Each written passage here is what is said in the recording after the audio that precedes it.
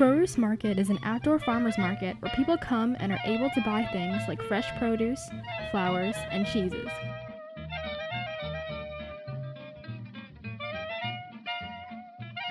They also have meats and prepared foods such as rotisserie chicken. The market is open every day, but it seems more lively on Tuesdays and Saturdays because there are more vendors. Croix is a great place to come when you're in Lyon.